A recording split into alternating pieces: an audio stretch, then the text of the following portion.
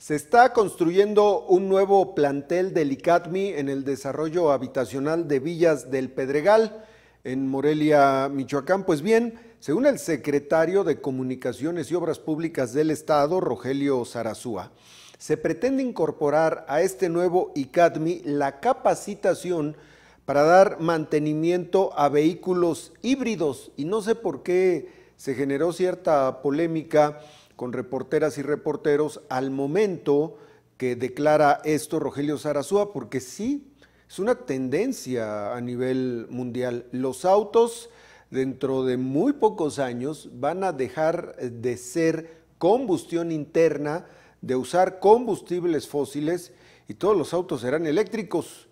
Eso es una buena idea. Escuche que hay un tema que quieren incorporar en Villas del Pedregal, que es un nuevo, una nueva formación para dar mantenimiento a vehículos híbridos. Es algo muy padre. Entonces vamos...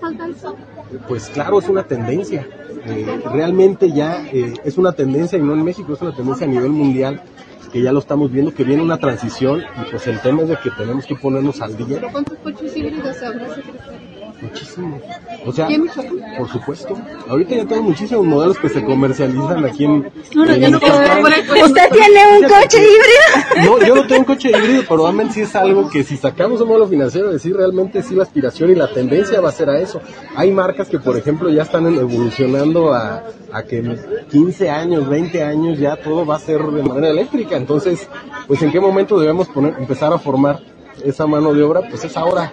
Y estar un poquito más adelante del, del, del momento para estar preparados.